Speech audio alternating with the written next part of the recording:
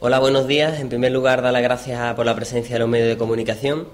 El motivo de esta convocatoria de prensa es respecto a la no convocatoria de nuevas generaciones en la reunión del pasado viernes que organizó la Delegación de Juventud y en la cual se invitó a todos los a todos los eh, asociaciones juveniles de la ciudad, excepto a nuevas generaciones de San Lucas.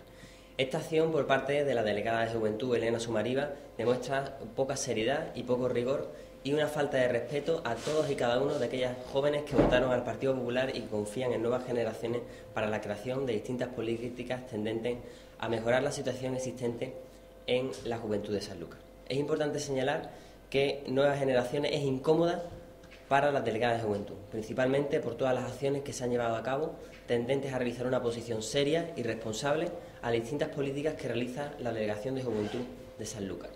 También me gustaría recalcar que en todo caso, desde la Delegación de Juventud en ningún caso se tiene en consideración las propuestas que realizan nuevas generaciones de San Lucas y también hay que señalar la poca seriedad por parte de la delegada ya que al no convocar a nuevas generaciones supone una falta de respeto tanto a esta organización juvenil como al resto de organizaciones juveniles. Esta es la convocatoria del año pasado de la Delegación de Juventud respecto a la reunión con las asociaciones juveniles. Sin embargo, este año la delegada Elena Sumariva ha preferido no convocar a nuevas generaciones porque, como ya he mencionado con anterioridad, somos incómodos para ellas y en ningún caso le interesan las propuestas que se realizan. Como no tuve la oportunidad de solicitar ningún tipo de información a la delegada de Juventud en la reunión del pasado viernes, me gustaría preguntarle públicamente respecto a todos los proyectos relacionados con la Delegación de Juventud que venían reconocidos en su programa electoral. Por ejemplo, programas de juventud relacionados con la política de fomento del empleo de jóvenes emprendedores y las partidas presupuestarias que se han dedicado para ello. También me gustaría preguntarle sobre la creación del Consejo Local de la Juventud, un consejo que en ningún caso se ha conformado y era una propuesta y una promesa de Ciudadanos Independientes de Sanlúcar y que priva a los jóvenes de nuestra localidad de tener un órgano de carácter independiente donde se constaten todas y cada una de las políticas de juventud que se realicen. También, cuál es el motivo por el cual no se ha incrementado el presupuesto de la Delegación de Juventud hasta 150.000 euros, tal y como indicaba el programa electoral de Ciudadanos Independientes en las últimas elecciones municipales un presupuesto que se ha reducido hasta 33.000 euros, por lo que una vez más Ciudadanos Independientes de San Lucas y su delegada Elena Sumariva falla a los jóvenes de San Lucas. Por otra parte, también me gustaría resaltar que desde Nuevas Generaciones de San Lucas, vía el Grupo Municipal, se va a solicitar una información de carácter presupuestario a la Delegación de Juventud para que se constate todas y cada una de las partidas presupuestarias entregadas a las asociaciones juveniles de la ciudad. Apostamos desde Nuevas Generaciones por un reparto equitativo de las distintas cantidades económicas para todas y cada una de las asociaciones juveniles. No entendemos en ningún caso que estas partidas se destinen a determinadas asociaciones y por unos criterios meramente subjetivos y que en ningún caso respetan el principio de equidad. Por lo que solicito una rectificación pública de la delegada de Juventud y que nos proporcione toda la información sobre las políticas que en materia juvenil se van a realizar en nuestra localidad y nos proporcione información a su vez de cuál ha sido el motivo por el cual no se ha convocado a nuevas generaciones de Sanlúcar para la reunión del pasado viernes que se celebró por parte de la delegación. Una reunión que en todo caso ha derivado en una situación perjuiciosa para los jóvenes de Sanlúcar, ya que no han podido disponer de todas aquellas preguntas que tenían nuevas generaciones pensadas para delegadas de juventud. El único motivo por el cual entiendo que no se ha convocado a esta organización juvenil es por el miedo que desde la Delegación de Juventud y desde Ciudadanos Independientes de San Lucas se tiene a las propuestas que realiza esta organización juvenil. Organización que está pensada, en todo caso, a mirar por el bien de los jóvenes de Sanlúcar y que tiene como principal finalidad la fiscalización de las políticas de juventud. Ahora paso al presidente provincial, eh, Germán Beardo, respecto a algunas materias relacionadas principalmente con la provincia. Muchas gracias.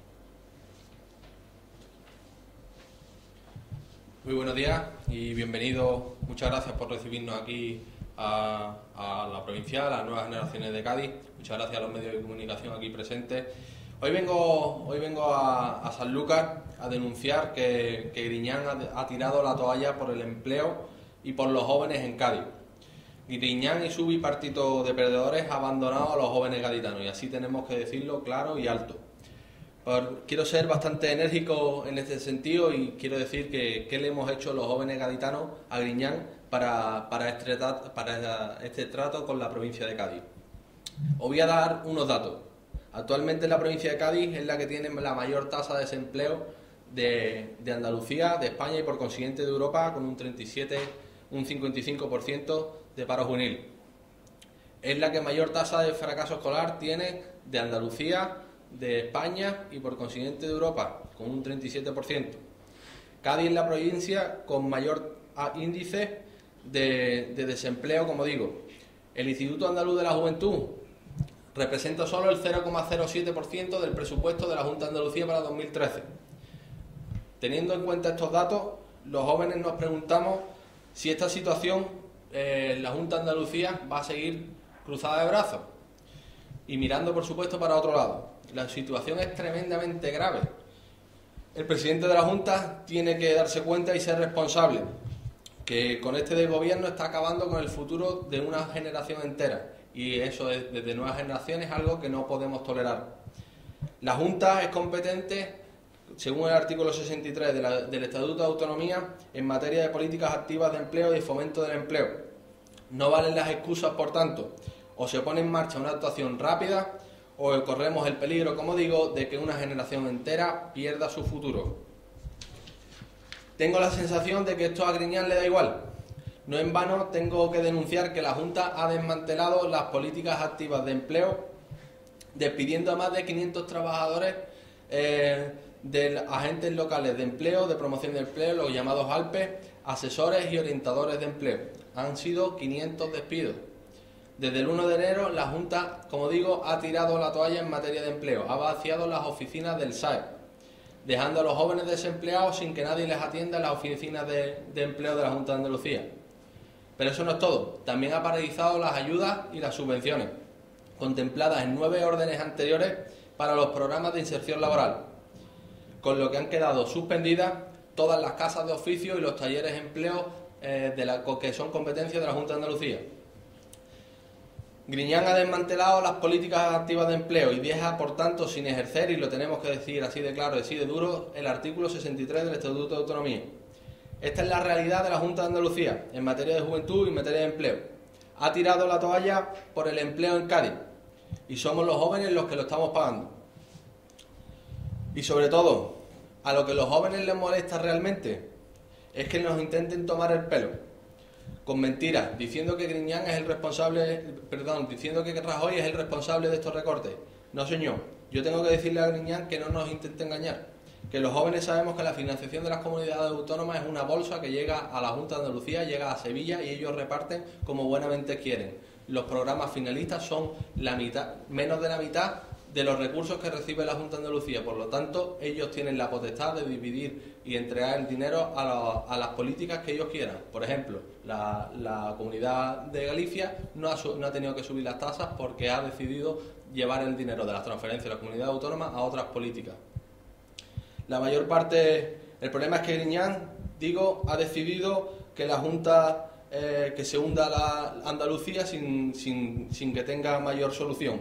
Renuncia a, que nosotros tengamos un empleo, sin embargo, tenemos a Canal Sur con 16 millones de euros más en el presupuesto o con el director general de Canal Sur cobrando más que Rajoy. Y eso es algo intolerable. Más y, más y cabe cuando eh, no ha contratado a 4.500 profesores eh, en este inicio de curso o eh, le recorta el sueldo a los médicos y a los enfermeros. Estos son los, los recortes de Griñán y los recortes del Partido Socialista. En cambio, al menos los jóvenes tenemos una ayuda en, la Diputación de Cádiz del Partido Popular, que pese a los problemas económicos de todas las instituciones, se apuesta por el empleo y por los jóvenes. Por ejemplo, con el programa Cádiz Te Emplea, que ha financiado 38 proyectos de jóvenes emprendedores a lo largo de toda la provincia, que ha dado lugar a otros tantos puestos de trabajo. Esto es la diferencia entre el Partido Popular y el Partido Socialista allí donde gobierna. Nosotros apostamos por el empleo y por los jóvenes y, Andalucía, el, Griñán, se, dedica a sostener su administración paralela de enchufado. Por eso, y como última cosa, quiero decir que a los jóvenes, que solo con las políticas del Partido Popular los jóvenes tenemos un futuro. Con Griñán, paro y abandono. Con los ayuntamientos del Partido Popular y la Diputación del Partido Popular, inversiones y compromisos. Muchas gracias. ¿Alguna pregunta?